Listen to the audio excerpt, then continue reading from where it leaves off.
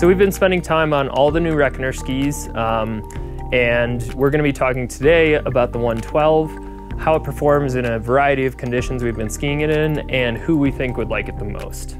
So the first thing that stood out to me with the Reckoner 112, and honestly all of the Reckoner skis, is just they're really intuitive and easy to get along with. Uh, we ski a lot of skis here at Blister, and some of them take even days to get used to, but with the Reckoner 112, all it took was a few turns for me to really figure out the ski, get used to it, and start skiing it pretty confidently.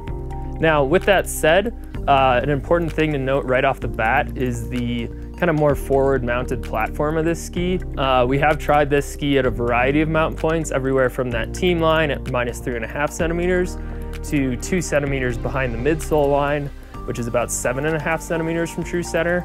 Uh, the ski doesn't feel that different between all those mount points. It has a really big sweet spot, which is why, part of why it feels so intuitive. But the nice thing is at the midsole line or a centimeter or two behind it, you can drive the shovels a little bit, which tends to help when you're skiing in more variable snow and kind of keep the ski a little bit more composed. So on that note about like variable snow and high speeds, it's worth noting that this ski is very light. Uh, it's 112 millimeters underfoot. We have the 184 centimeter version, and for that ski, it's coming in at an average weight of about 2,040 grams per ski. So for a ski of that size, it's very light. It's also not super stiff. Uh, the middle of the ski is strong, but the ends are pretty accessible and easy to bend. It also has a pretty symmetrical flex pattern. The tail is not much stiffer than the tips. So you've got a very light and pretty soft ski, and the result is not super stable. So in terms of versatility, at 112 millimeters underfoot, uh, this could be some people's dedicated deep snow POW ski, could be some people's all mountain ski, and I think it could serve well in both of those purposes.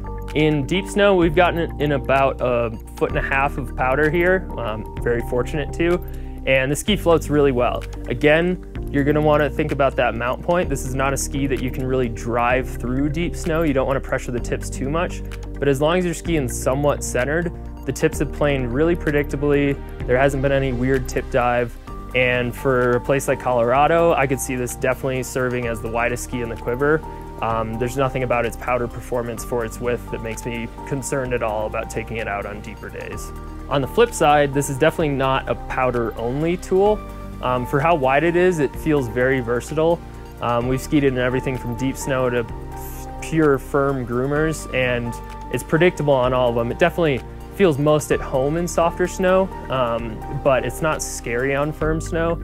If the groomers are fairly soft or it's like fresh corduroy, the ski can actually carve pretty well, again, from a pretty centered stance, but the edge hold feels very good for how wide it is, and it can make a pretty wide variety of turn shapes. The 184 centimeter version has a stated side cut radius of 22.9 meters, so it does need a little bit of speed to get on edge, but um, holds an edge pretty well for its width. And then where I think the ski really excels, I mean, it's really fun in powder, but I think those kind of in-between conditions like soft chop, that's where the ski becomes really fun. Because it's so light and playful, uh, it makes kind of bouncing off of little patches of soft chop really fun. And then when the snow is still pretty soft and forgiving, you could still ski it very hard. So on a powder day in the resort where the powder gets tracked out after maybe one or two runs, the ski really comes alive there because you can ski it pretty fast, but you can also boost off of any little side hit or patch of snow. In terms of tight terrain like moguls and trees, very easy ski. Um, that mount point does create a good bit of tail behind you, but that tail is also pretty rockered and fairly soft. So you can get back on the tails if you want to. This isn't a ski that punishes backseat skiing that much. So in terms of playfulness, I mean, this is K2's freestyle ski, so unsurprisingly, it's a very playful ski.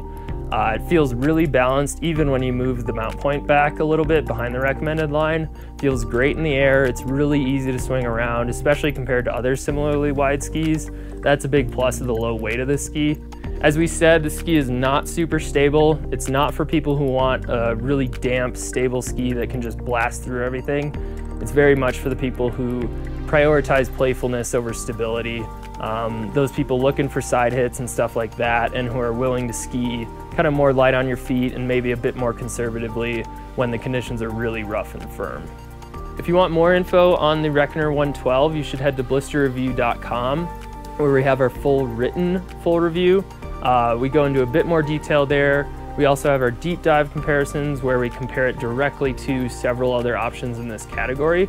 So you can head to blisterreview.com for more info as well as reviews on a ton of other skis, and then stay tuned to our channel for more upcoming reviews.